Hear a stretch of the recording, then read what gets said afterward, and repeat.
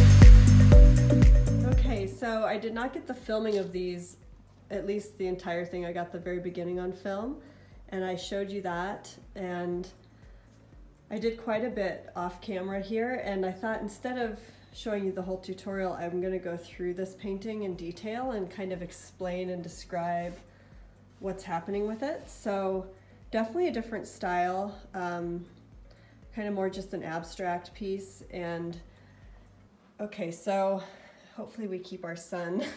so this, this part here is, uh, it's the color art pigment and I just used Liquitex pouring medium to wet it and then added a little bit of GAC 800 to it and got a nice liquid consistency. And I used um, a catalyst wedge and I actually grabbed the squeegee out of my bathroom and used the squeegee quite a bit to kind of, you know, the initial colors that I put down, I kind of scraped them across.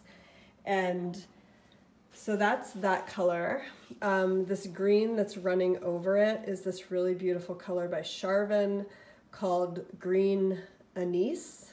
It's gorgeous. And then the blue is also a pigment and it's a color art pigment. Um, I'll, I'll go ahead and list some of these colors below and actually I'm to grab them. Hold on. Okay, so here's the pigments I used. This color art pink lemonade. It's that color. I used their lime squeeze and that's how I got some of these undertones. And then the Payne's Gray was what I used here.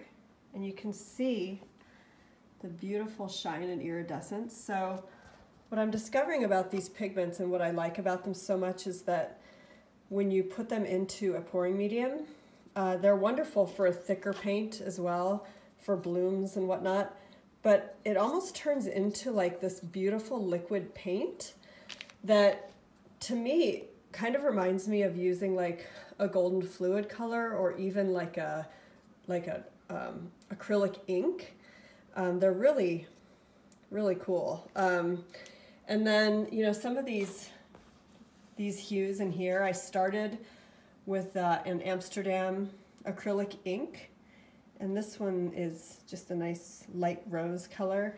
And then I added some raw sienna to it to get this really pretty earthy flesh color. So as a whole, you know, we've got a lot of different things going on. Um, down here, this is like a Charvin Indigo that I also used uh, a really nice pouring medium, just like the Liquitex and GAC 800 and, and water and I got it nice and thin. And then, you know, there's these kind of iridescent moments happening throughout the painting and that's all golden fluid, high flow, iridescent pearl.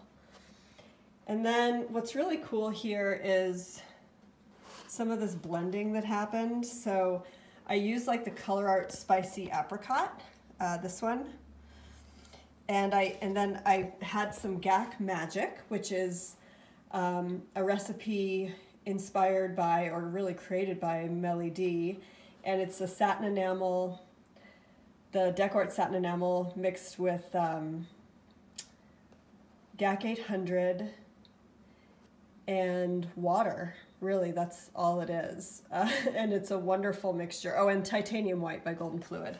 So all these nice white moments that are happening. That's all that GAC magic. And I just, I had it in a squirt bottle and I added some here um, at the beginning and then I added some later. And as you can see, it kind of picked up some of that pigment and blended with it. So it's not just this like block of white, like up here, I added some of it and it picked up that beautiful magenta up into the white. So it gives for a really pretty effect. And then this green color I adore. I'm really in love with it. It's the Anise Green by Charvin. These can be found at Jerry's Artarama. And I kind of use that as a little bit of a wash over the top of some different sections. And I kind of, what I did is I kind of mirrored it in a way. You know, there's like similar sections in each painting, but they're not, they don't really match they kind of play together, but they're not a mirror image of each other by any means. And, and then some of these lines that you see through here is just a oil pastel and just kind of using a few different colors of oil pastel that kind of play off the painting a little bit. Like here's some blue pastel running through here. And then I actually went and took a charcoal pencil. Kind of comes off on your fingers still. I have not sealed this quite yet. And brought some of the charcoal pencil in as well, which kind of gives this like little bit of pencil kind of organic look to it. And then this is copper, iridescent copper, golden high flow. And as you can see, the high flow, you know, it likes to kind of do its own thing. It kind of spreads out um, and fractals a little bit. See if we can get some fractaling. I actually kind of, there's a little bit in there. It's really a pretty magical paint. So this was just, you know, playing with um, and then here's some, this is the GAC Magic and how it picked up the spicy apricot pigment and kind of blended and just played really nicely to give, you know, this really beautiful blending and bleeding effect that I've been playing with in some of my other art. There's my signature down at the bottom of the right piece that's on the right.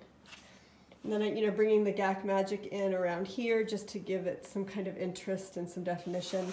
And then down here is the first layer of paint that went down, which was mainly that beige colored acrylic ink and a little bit of like Payne's gray. And you guys saw some of that process in the beginning of the video, so.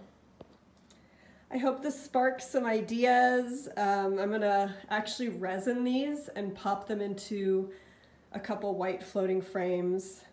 Um, I think they're gonna be called Boomerang. My um, my mother-in-law was down here looking at them and she she saw she said boomerang for some reason. I was like that's cool. Because they you kind of go back and forth looking at the two of them and there's just some harmony going on and yeah it was a really fun little abstract diptych. So i hope you like it and i'll show you the end results here shortly